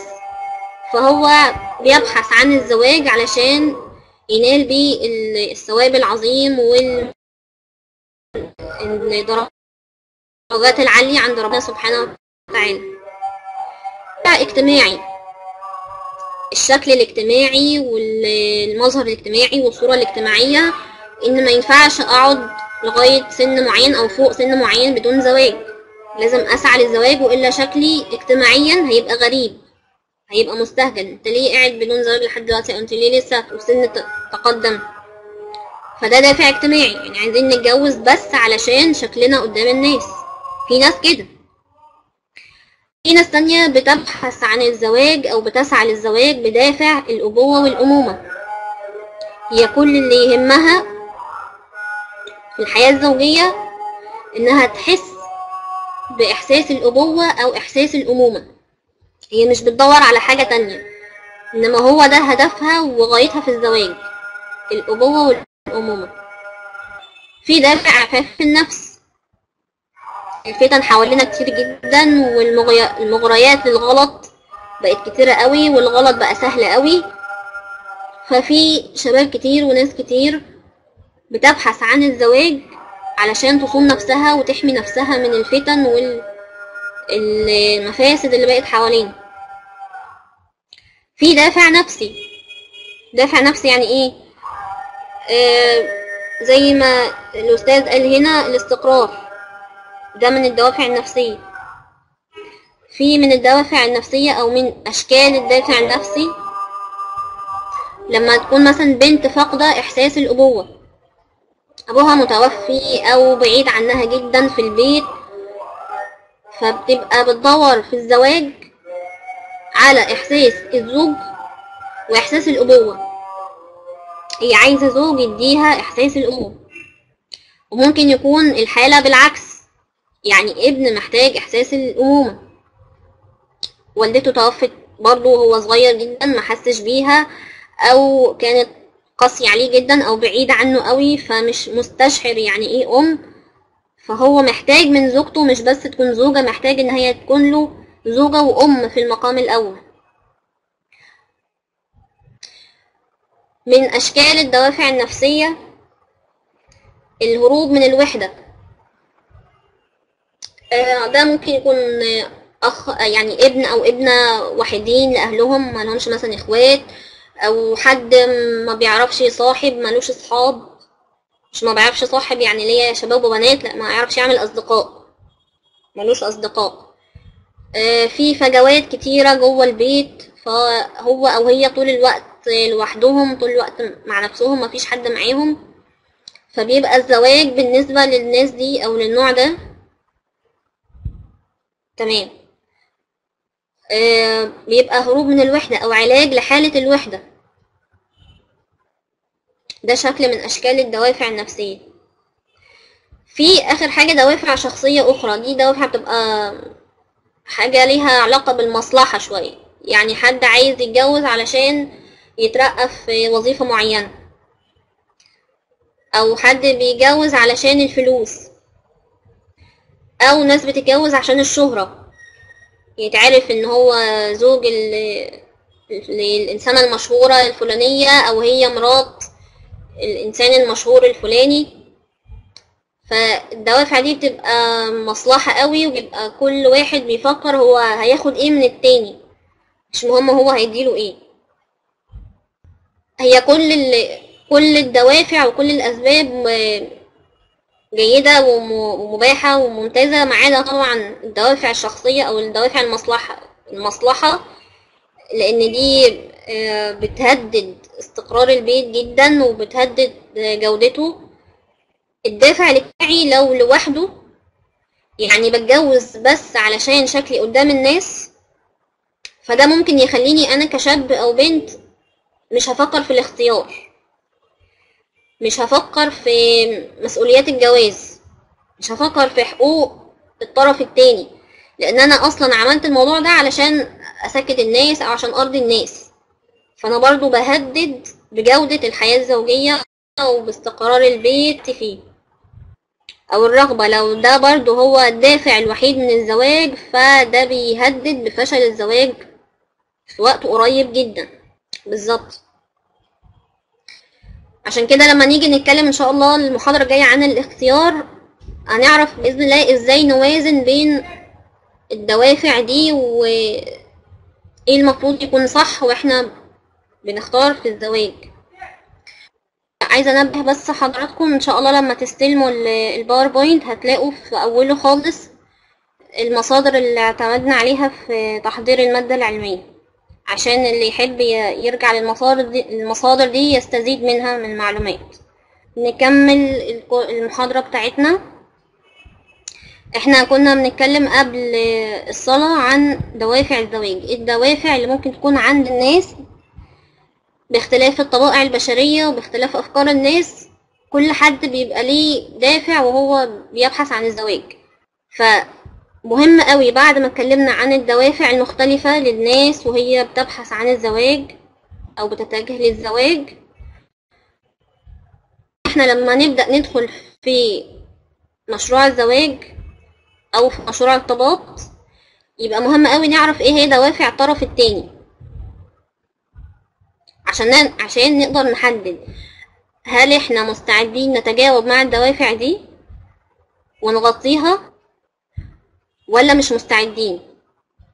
يبقى في تنافر أو اختلاف كبير بين دوافع الدوافع بتاعتي أنا كشاب أو كبنت وبين دوافع الطرف التاني.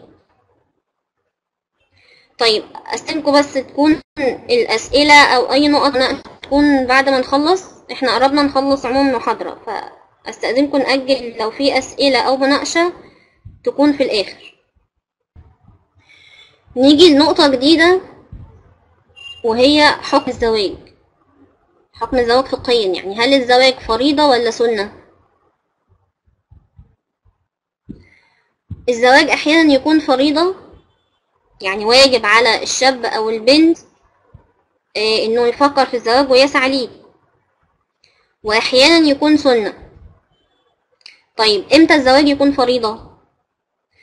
قال العلماء أو أهل العلم إن الزواج يكون فريضة إذا كان عند الشاب أو البنت كل الإمكانيات اللي تؤهله للزواج مع ميله نفسيا للزواج وإنه بيخشى على نفسه من الوقوع في الفتنة أو في المعصية. وده طبعا حال أماكن مجتمعات كتير قوي دلوقتي إذا ما كانش الدنيا كلها دلوقتي كده يعني.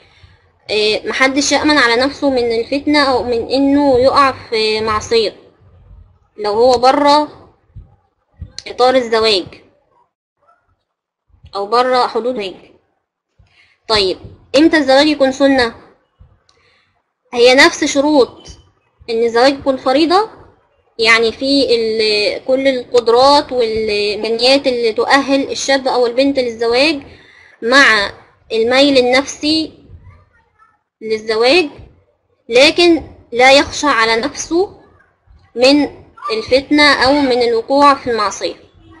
يعني شاب أو بنت عايشين في مجتمع منضبط مجتمع سوي الغالب عليه الدين والأخلاق والقيم الرفيعة اللي بتحفظ نفس البني آدم ودينه وعفته. فهو وجوده في المجتمع ده أو في المحيط اللي هو فيه لا يخشى على نفسه من أي فتنة أو من إنه يقع في معصية أو إنه آه، يقع في أي غلطة. ففي الحالة دي الزواج إذا تزوج بيكون له سنة أو مستحب. فبوجود التعريفين نقدر نستنتج أو نفهم إن الزواج في وقتنا اللي إحنا فيه ده هو فريضة على كل بنت وشاب. بالظبط ده مش موجود. فالزواج في زماننا ده فريضة لأن صعب جدا جدا مش هنقول استحالة بس هنقول صعب جدا إن أي شاب أو بنت دلوقتي يأمن على نفسه من الفتن والمشاكل اللي موجودة حوالينا في كل حتة.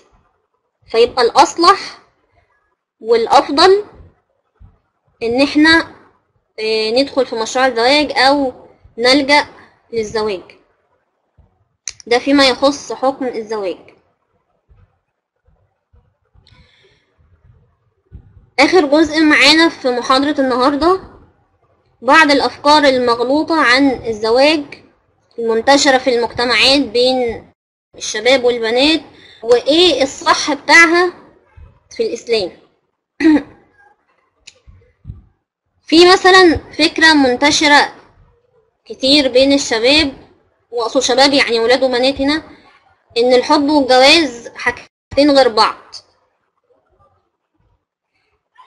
الباوربوينت إيه، تقريبا في في شوية عطل بسبب الإنترنت أو حاجة زي كده فالمادة نفسها هتكون معاكم إن شاء الله. يعني هتاخدوا المادة نفسها. فأرجو بس التركيز مع الشرح وإذا حابين تسجلوا ورايا في ورقة خارجية يكون أفضل والمادة نفسها هتكون معاكم.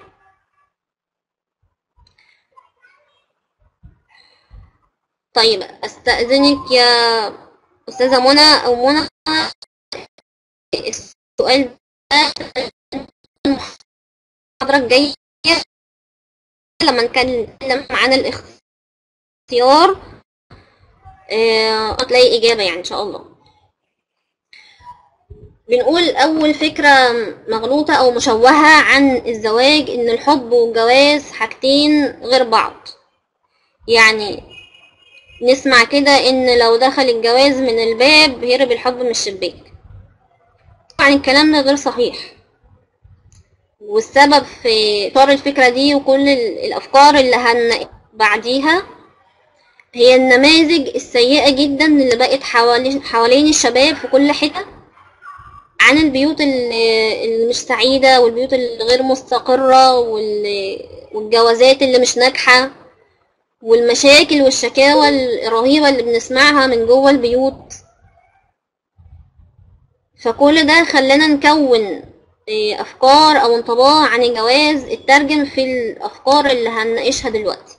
ودي حاجة منها إن الحب حاجة والجواز حاجة تانية خالص. مع إن لما نشوف النبي عليه الصلاة والسلام كده يقول إيه؟ يقول لم يرى للمتحابين إلا النكاح.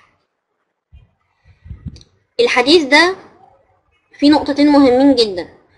النقطة الأولانية إن رسول الله صلى الله عليه وسلم طيب إيه لو سمحتوا الدعم الفني إيه يشوف ال timer بتاع الكورس لأنه ممكن يفصل مننا وإحنا قاعدين.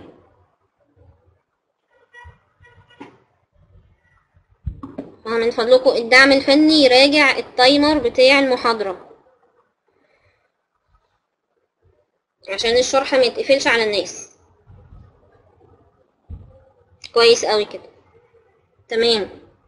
شكرا يا أستاذة كمال. يقول النبي صلى الله عليه وسلم لم يرى للمتحبين إلا النكاح. قلنا الحديث ده فيه نقطتين مهمين جدا. النقطة الأولانية إن رسول الله صلى الله عليه وسلم أقر واعترف إن في حب هيحصل بين شاب وبنت أو بين رجل وامرأة. يعني الحب جائز ما هوش حر... الحب مش حرام. إنما الحرام هو اللي هيترتب على إحساس الحب ده. يعني الشعور نفسه مش حرام. هو ربنا أوجده جوانا. هنحس بميل وهنحس بحب. لكن اللي يتقال عليه حرام أو حلال هو الفعل اللي بعد الحب ده. هل هنترجم الحب ده في أفعال ترضي ربنا ولا هنترجمه في أفعال ما ترضيش ربنا؟ ده اللي يتقال عليه حرام وحلال. فالنبي صلى الله عليه وسلم ما اعترضش عن ال... ما اعترضش على الحب. إنما قال لنا الاتنين اللي بيحبوا بعض عشان يتوجوا الحب ده ويحفوه ويصوموه فما لهمش سكة إلا النكاح اللي هو الزواج. يبقى إذا الزواج هو اللي هيحافظ على الحب. هو اللي هيصون الحب.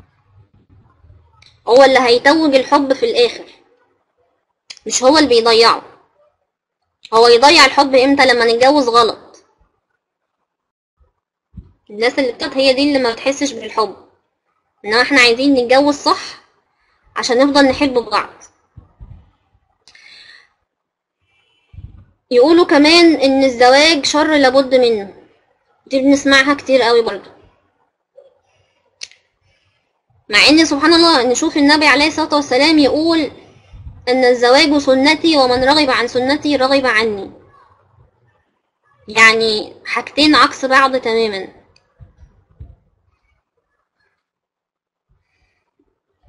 أنا مش عارفة منى انت كنتي معانا من أول المحاضرة ولا لأ بس تابع معانا لآخر الكورس هو الكورس كله بيقول لنا إن هو إزاي مش صح يعني النبي صلى الله عليه وسلم يقول أن الزواج سنتي ونلاقي ناس تانية مش فاهمة تقول إن الزواج شر. وكأنهم بيقولوا على سنة من سنن النبي إن هي شر. ده ليه؟ لأن إحنا مش فاهمين. استسلمنا للنماذج الغلط والتجارب الغير ناجحة في العلاقات الزوجية حوالينا وترجمناها على إن هو ده الجواز وإنه مفيش نموذج تاني. فدي برضو من الأفكار اللي محتاجين نصححها في أذهاننا وفي أذهان غيرنا عن الزواج ليس شر. إحنا اللي بإيدينا نخليه خير أو نخليه شر. يقال كمان إن الزواج نظام اجتماعي فاشل. دي ممكن غالبا يقولها الناس اللي هي شكلها مثقف شوية. اتعلمت برا مثلا. آه، متأثرة بثقافات أجنبية. فيقولوا إن الزواج نظام اجتماعي فاشل. مع إن نشوف بقى إحنا ال- التصحيح فين لما ربنا سبحانه وتعالى يقول ومن آياته أن خلق لكم من أنفسكم أزواجا. يعني فكرة الزواج إن في زوج وزوجة دي أصلا آية من آيات ربنا سبحانه وتعالى. يعني فطرة ربنا خلقنا عليها. طبيعة بشرية ربنا خلقها فينا. إن لازم يكون في ميل بين الرجل والمرأة يترجم في حاجة اسمها زواج. يبقى إذا الزواج أولا ليس نظام اجتماعي ما هوش عرف اجتماعي الزواج فطرة ربانية نظام رباني مش اجتماعي. وبالتالي لا يجوز عليه أبدا إن إحنا نطلق عليه إنه فاشل أو نصفه بالفشل. وإلا نبقى أول اللي بيردد الفكرة دي يبقى بيتهم نظام إلهي أو فطرة ربانية بإنه نظام فاشل. وده شيء طبعا غلط جدا وخطير جدا. يعني مبحبش أستخدم ألفاظ صعبة وكبيرة. بس ده شيء في منتهى الخطورة. إن إحنا نتهم نظام رباني بإنه غير ناجح للبشرية. والحقيقة إن البشر ال- البني آدمين اللي تعاملوا مع النظام ده غلط هي اللي تجاربهم فاشلة. مش النظام نفسه هو اللي فاشل. بعض ال- الشباب أو البنات يعني شايفين إن الزواج خنقة وتهديء على النفس. هو بمنتهى البساطة زي ما قلنا في الأول إن الزواج مسؤولية.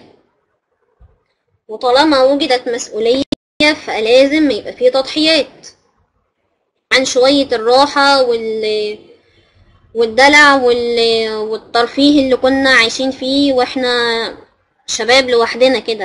أب أو بنت يعني لوحدنا في بيوتنا من غير الارتباط لازم كن... لازم هنتنازل شوية عشان المسؤولية اللي بقينا فيها. فالجواز ما هواش خنقة وما هواش تضييق إنما هو مسؤولية. فربما اللي بيقول كده أو بينشر الفكرة دي أو مقتنع بيها لأنه مش عايز يعترف أو يشوف مسؤولية اللي جوه الجواز. ربما عايز يشوف الزوج على إنه حياة سهلة ومتعة وترفيه وانبساط وفسح و... آه، طب ممكن معناها أو مفادها إيه سريعا؟ طيب إحنا قلنا يا أستاذ أحمد الحب في الأسلاء في الشعور نفسه مش حرام. إذا كان ربنا سبحانه وتعالى ذكر عن نفسه أنه يحب أصناف من البشر يحب المحسنين يحب المتقين يحب المطين ففكرة الحب نفسها ربنا سبحانه وتعالى قال فسيأتي الله بقوم يحبهم ويحبونه فالحب نفسه كشعور هو مش حرام في الإسلام وإلا يبقى إحنا في, في دين أو تحت أمرة إله ظالم زي يخلق جوانا حاجة ويرمها علينا. لكن الحرام والحلال بيقال على اللي بيترتب على الشعور بالحب يعني شاب وبنت شعروا بشعور ناحية بعض. طب إيه اللي هيحصل بعد كده؟ هنترجمه إزاي؟ هنتصرف إزاي؟ هو التصرف والفعل ده اللي بيدخل تحت الحرام والحلال.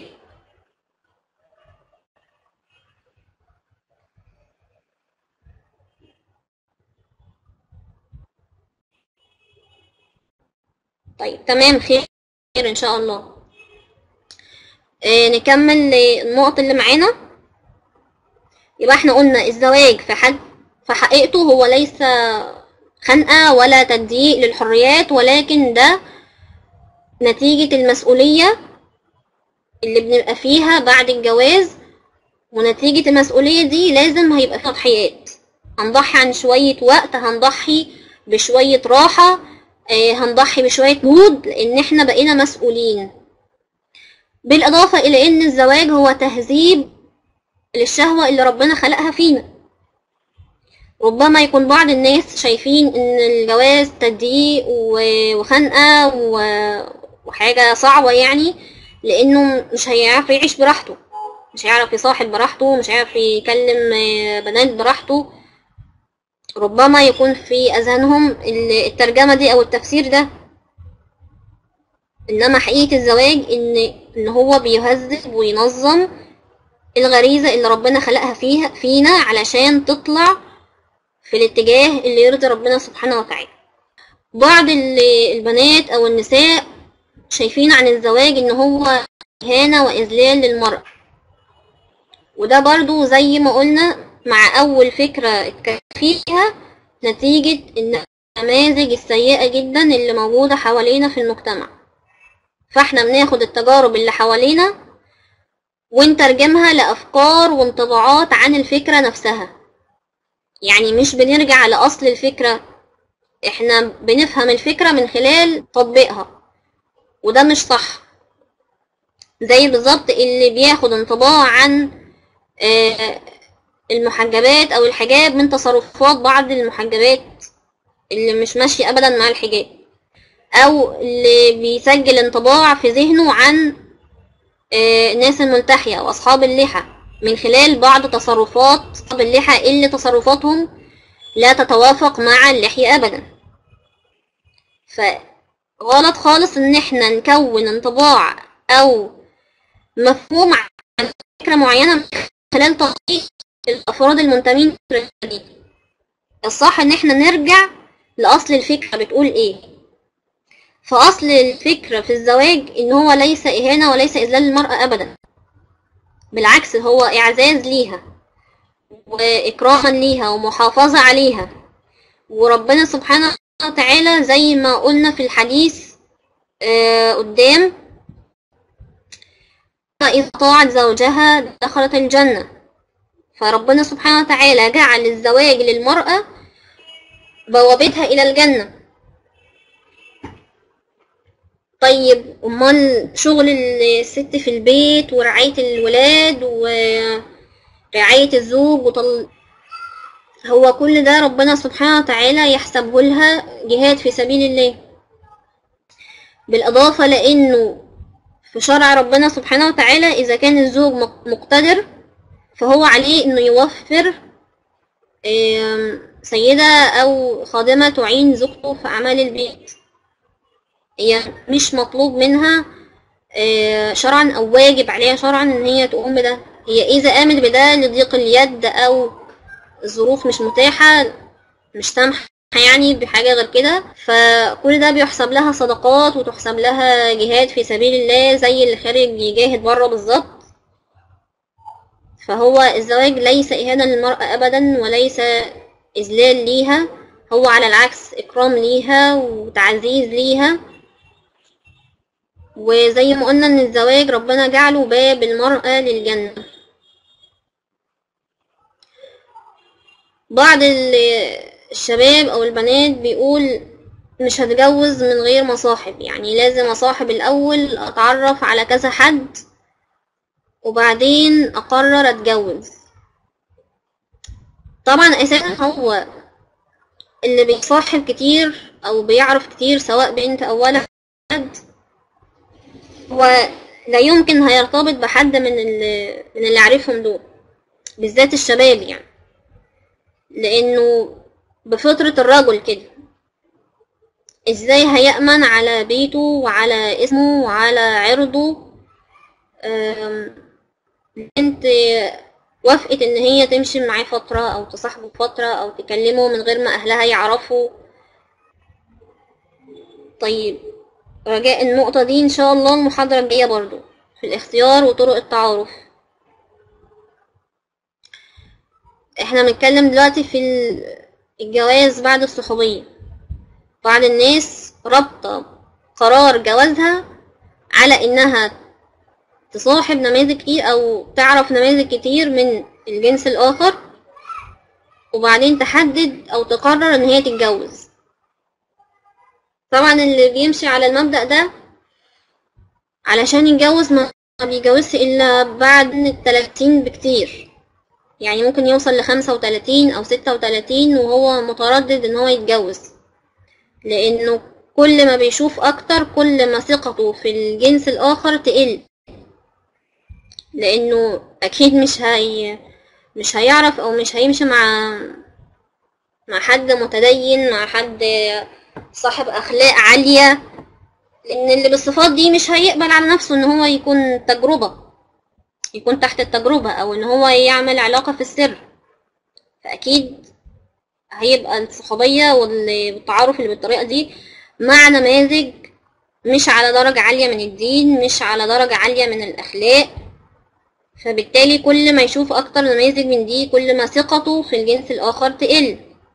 وكل ما ثقته تقل كل ما سقف متطلباته في الإنسان أو الإنسانة اللي هيرتبط بيه هيبدأ يرتفع جدا. ممكن يوصل لدرجة غير واقعية. وبالتالي يبدأ سن زواجه يتأخر جدا.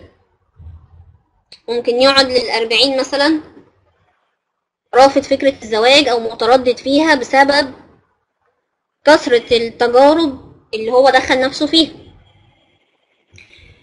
بالإضافة لقاعدة كده النبي صلى الله عليه وسلم علمها لنا والصالحين علموها لنا إن ما عند الله لا ينال إلا بطاعته. يعني الرزق اللي عند ربنا سبحانه وتعالى لا يمكن هناخده إلا إذا مشينا في اللي ربنا سبحانه وتعالى يرتضيه.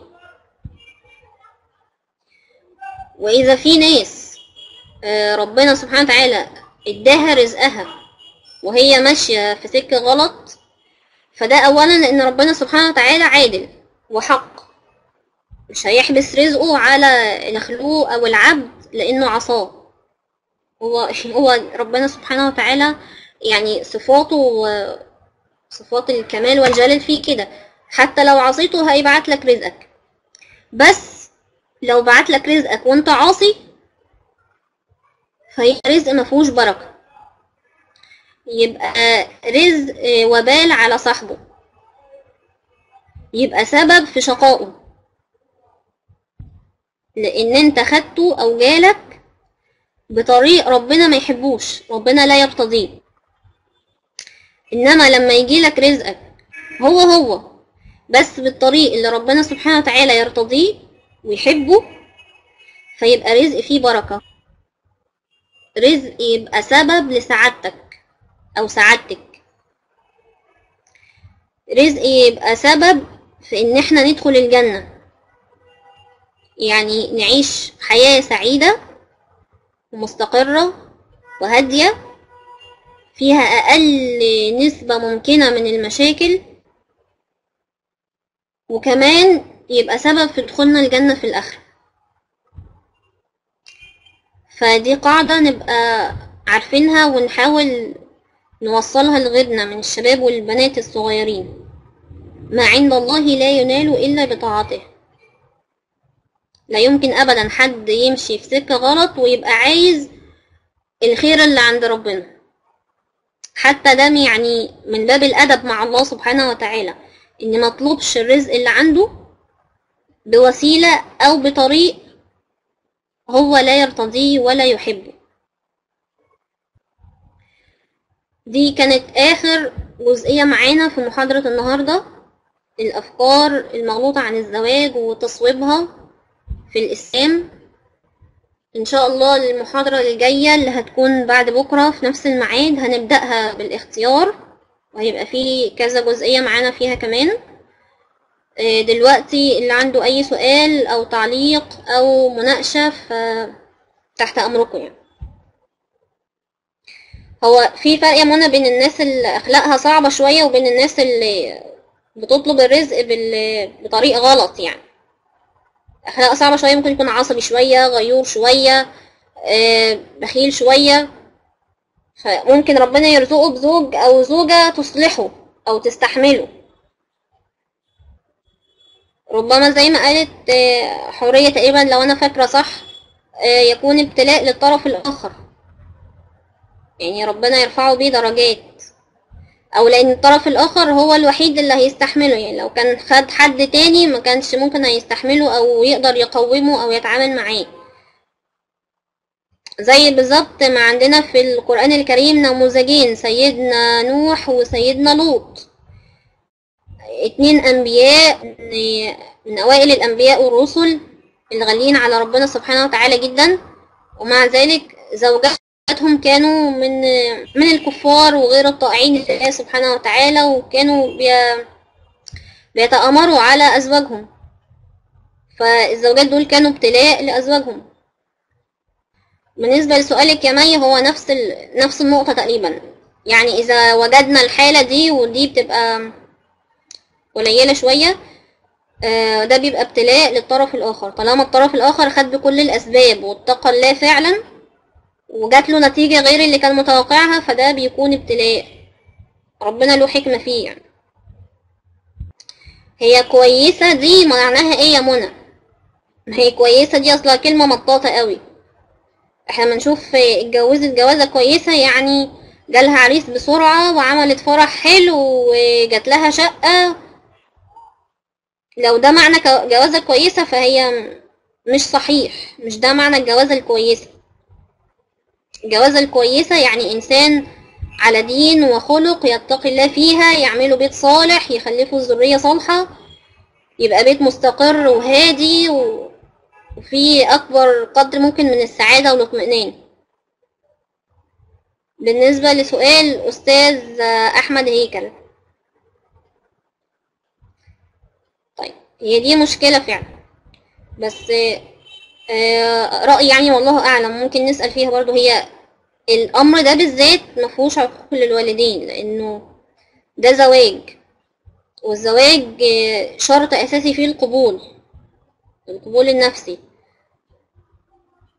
فممكن يعني لو لو النموذج ده موجود فعلا أو الحالة دي موجودة فعلا حاول تتفاهم مع أهلك لأن ممكن لو حصل ارتباط وفي حد من طرفين مجبر على الطرف التاني فده هيبقى فيه ظلم كبير للطرف التاني.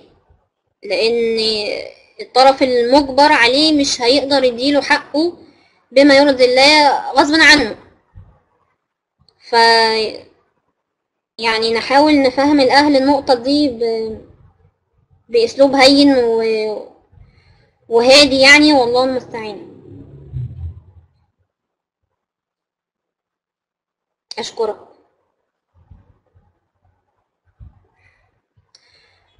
آه، سمعت عنها. من المدرب بتاعها يعني كنت شفت الايفنت أو حاجة زي كده بس ما دخلتش في الموضوع قوي وما أعرفش إيه تفاصيله بالظبط. اللي هو موضوع جذب شريك الحياة بقانون الجذب ده. ما عنديش تفاصيل عليه يعني. هو ما فيش حاجة اسمها زي أختي وزي أخويا يعني. أصل زي, زي أختي يبقى ما ينفعش أتجوزها وزي أخويا يبقى ما ينفعش أتجوزه. يبقى زي أختي يبقى ممكن تطلع قدامي بشعرها مثلا. بس دي ممكن تتقال لو المشاعر اللي ما بين الاتنين أو طريقة المعاملة ما بين الاتنين فيها شيء من الثقة أو شيء من آه، يعني ضمان عدم الفتنة وشيء من الاحترام العالي مع مراعاة الحدود اللي ربنا سبحانه وتعالى حطها لنا في المعاملة بين الشاب والبنت أو بين الرجل والمرأة. فزي أختي دي لو معناها إن بثق في أمانتها بثق في أخلاقها ربما أستشيرها أحيانا آه، أأمنها مثلا آه، على إني أعرفها بوالدتي بأختها حاجات زي كده مش هيكون فيها مشاكل. إنما الموضوع ي... يكبر بقى إن إحنا نقعد مع بعض كتير ونتكلم وفي حاجات ملهاش لازمة و... أو هزار زيادة عن الحد أو اختلاط زايد عن الحد فده شيء مرفوض طبعا.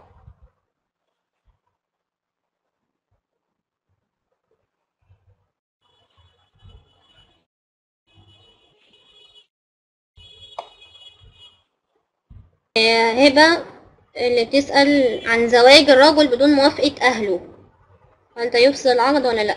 لأ دي ممكن نسأل فيها يا هبة. يعني ممكن أرجع أسألك فيها وأرد عليكي المرة الجاية لأن ده سؤال فقهي. فأنا ما بفتيش. أنا ممكن أنقل فتوى أو أنقل فده ممكن نسأل فيه. يعني أحاول أسأل فيه وأرد عليكي المرة الجاية. أستاذ أحمد الكلام اللي حضرتك بتقوله ده منطقي جدا وده شيء في الإسلام اسمه الكفاءة. لازم وجود عنصر الكفاءة في الارتباط. الكفاءة في الدين وفي الأفكار وفي الجهات وفي الأخلاق وفي التربية لازم يكون في أكبر نسبة ممكنة من الكفاءة. انما عشان آخد حد مختلف عني تماما ده صعب جدا. اتفضل يا أستاذ أحمد.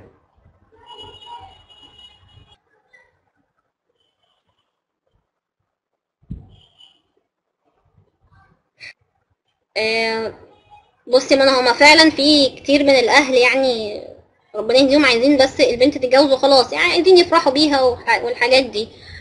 بس الموضوع في الأول وفي الآخر آه، بيكون في إيد البنت ترفض أو تقبل. يعني أعتقد إجبار البنت على جوازة معينة دي ما بقتش موجودة أو موجودة بشكل آه، منحصر جدا في المجتمعات اللي هي فيها نسبة كبيرة من الجهل والتخلف. إنما غالبا بقى الموضوع في إيد البنت يعني حتى معلش لو زعلانين شوية لأنه مش مناسب فهي مش هت مش هتوافق على إتمام الزواجة لأن هي شايفاه مش مناسب ليها هي اللي هتعيش معاه. لا أنا مش فاهمة ال يعني مش فاهمة الحالة بالظبط إيه يا أستاذ أحمد. حضرتك رفضت التعرف عليها إزاي يعني؟ تكون آثما إزاي؟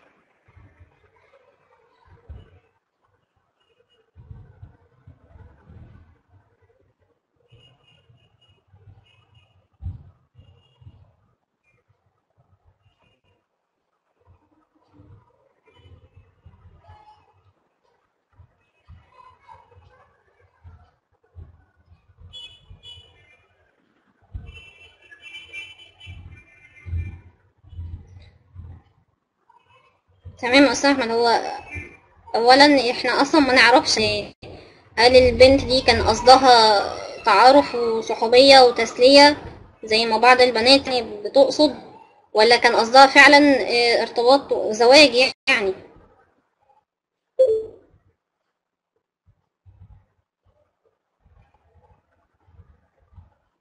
تمام حضرتك ما كنتش تعرف. أنا يعني ما نعرفش الموضوع ده بقاله قد إيه بس ايا كان يعني ما أعتقدش إنه ينفع ال- العودة فيه دلوقتي. هو إن شاء الله ما فيهوش ما فيهوش اسم أو ذنب فظيع. لا بقاله كتير جدا كده. ف هيبقى صعب جدا إن إحنا ناخد أي فعل يعني. فهو إن شاء الله ما فيهوش ما نقدرش نقول إن فيه اسم أو ذنب كبير. لكن ربما تكون حزنت البنت يعني قلبها اتكسر شوية. فإذا تذكرتها يعني تدعي لها بالخير وحضرتك ربنا ييسر لك الخير إن شاء الله يعني يرزقك بالخير.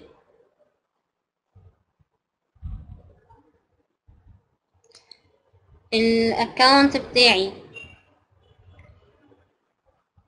طيب. آه، أستاذة كاميليا ممكن أنزل الأكاونت هنا ولا اللي عايزه ممكن يعرفه من على صفحة ال- ال- الكورس.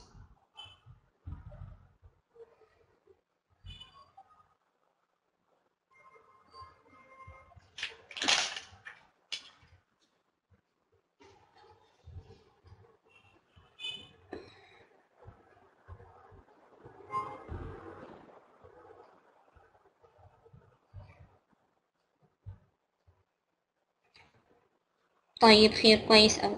طيب أنا هكتب ال آه، الإيميل الفيسبوك إيميل هنا اللي اللي يحب يضيفه. بس أستخدمكم لو في رجال أو شباب يبعت لي رسالة يقول لي إن هو من على الكورس لأن أنا ما بضيفش شباب ما أعرفهاش.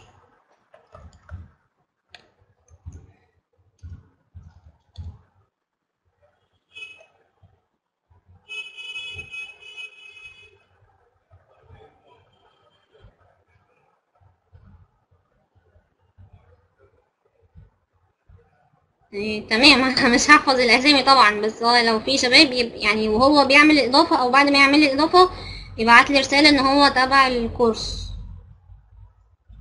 اتفضلي يا مي.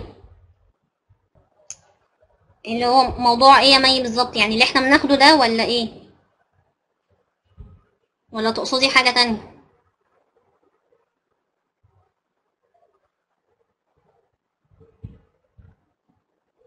قصدك اختيار شريك الحياة؟ أكيد طبعا. ده مهم جدا البنوتة اللي لسه ما ارتبطتش إن هي تعرف. قبل ما تتخطب علشان لما يتعرض عليها إنسان تقدر تقيم هل هو مناسب ليها ولا لأ.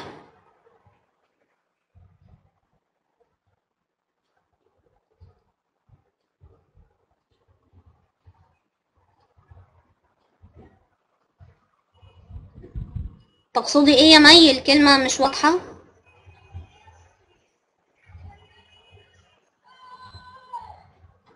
آه فهمت. هو النبي صلى الله عليه وسلم علمنا إن خيركم من تعلم العلم وعلمه. فإذا لما ربنا سبحانه وتعالى يرزقك بعلم معين وإنت متمكنة من العلم ده فواجب عليكي إنك توصليه لغيرك اللي لسه ما يعرفوش.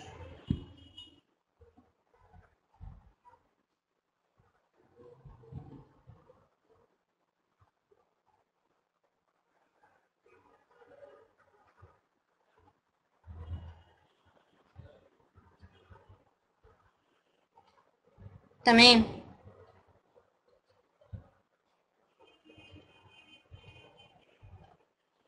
طيب خير ده شيء ممتاز جدا.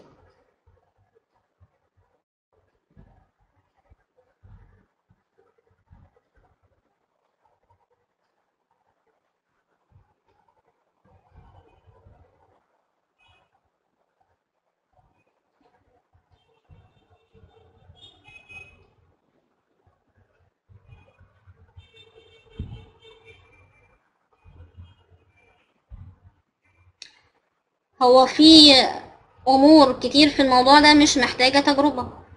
إنما أنا وصلني حديث عن رسول الله صلى الله عليه وسلم أو وصلتني آية آه، آه، من القرآن أو إني آه، كلمة كويسة أو كلمة جميلة من حد من العلماء أو الدعاة فأنا بوصلها لغيري. ده الأمر وما فيه.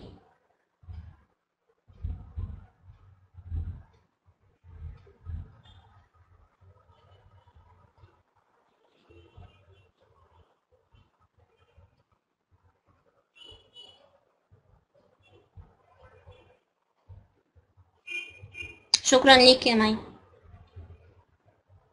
وبعدين إن في حاجة تانية مهمة جدا هل أنا هفضل حابسة العلم لغاية ما اتحط في التجربة؟ لأن ممكن التجربة تنفي العلم ده أو تأكده؟ يبقى أنا كده بحط العلم الشرعي تحت التجربة. وده يعني ده شيء مش مقبول إني أحط حديث أو آية أو رأي فقهي تحت التجربة. فده شيء مش مقبول. يعني لما النبي صلى الله عليه وسلم يقول حاجة من اللي إحنا قلناها وفي وضع أحدكم صدقة كده مش مستني محدش مستني تجربة يعني عشان يعرف آه اتحسبت له صدقة ولا لأ. لما النبي صلى الله عليه وسلم يقول فاصفر بذات الدين. أكيد مش هنبقى مستنيين تجربة عشان نعرف ذات الدين دي هتبقى زوجة صالحة ولا لأ. ففي حاجات مش محتاجة تجربة يعني.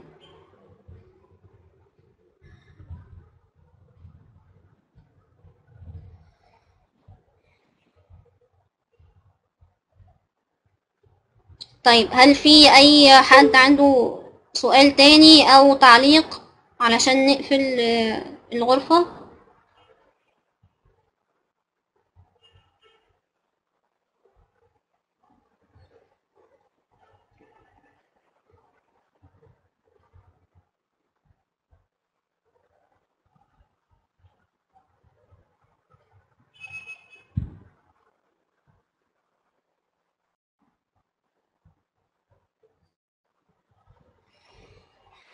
تمام شكرا لكم جدا جزاكم الله خيرا.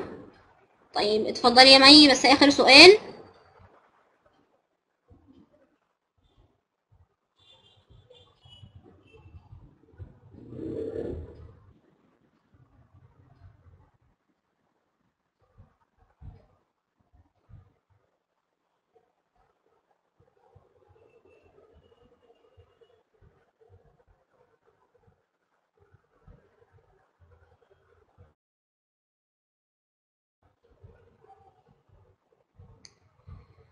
حكم التعدد في الإسلام. وعايزة رأي عايزة رد مختصر يا مي. طيب. هو يعني هنحاول. هو التعدد ليس بفريضة وليس بسنة. هي حاجة اسمها رخصة يعني إيه؟ يعني إيه بالبلدي كده. ربنا سبحانه وتعالى بيقول للراجل إن هو أباح لك أو رخص أنك تتزوج أكتر من امرأة ولكن بشروط. دايما الرخصة ليها شروط. إذا وجدت الشروط فمن حق الإنسان المسلم إن هو ياخد بالرخصة دي.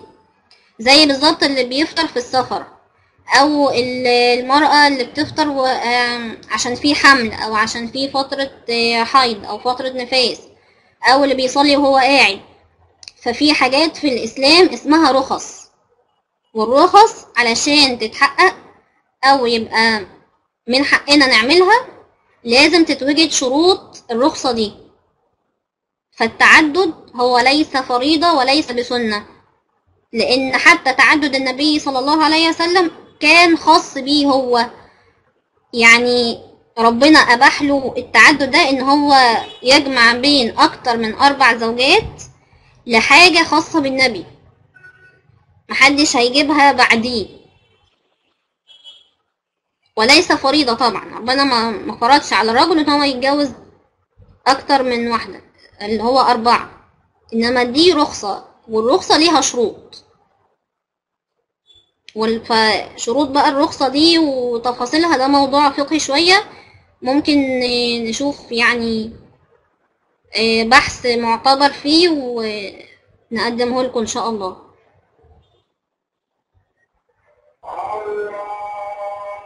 لا ابدا تحت أمر إن شاء الله لما نتكلم في الاختيار هنعرف إزاي نختار الراجل اللي يحافظ على زوجته دي كما هي كده. مش يبقى بيهددها طول الوقت أو مخاوفها طول الوقت إنه ممكن يتزوج عليها.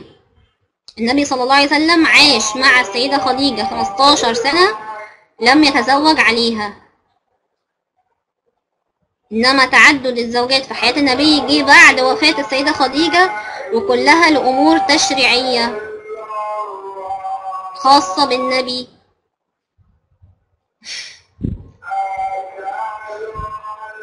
تمام. طيب. شكرا يا مي استاذنكم لو لو المناقشة كده انتهت علشان نقفل الغرفة والناس بتوع الدعم الفني يستريحوا. شكرا لكم تمام. جزاكم الله خيرا. السلام عليكم ورحمة الله وبركاته. ونشوف